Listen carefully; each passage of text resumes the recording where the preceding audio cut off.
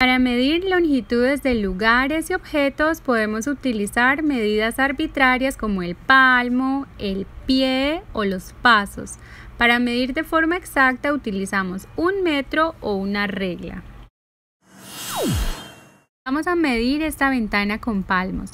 Recuerda mantener bien estirada la mano. Empecemos. 1, 2, 3, 4, 5 palmos. Mide esta ventana.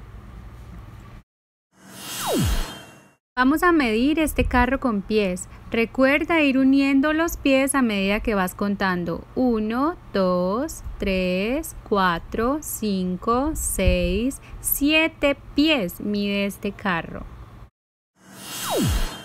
Vamos a medir esta cancha de fútbol con pasos. Recuerda contar cada paso que das. 1, 2, 3, 4, 5, 6, 7, 8, 9, 10, 11 pasos mide esta cancha de fútbol.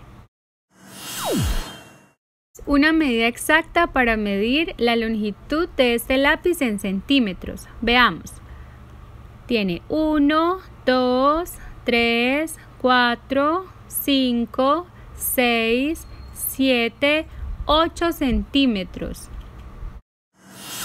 Veamos otros ejemplos. Este borrador mide 6 centímetros. Esta cuchara mide 13 centímetros.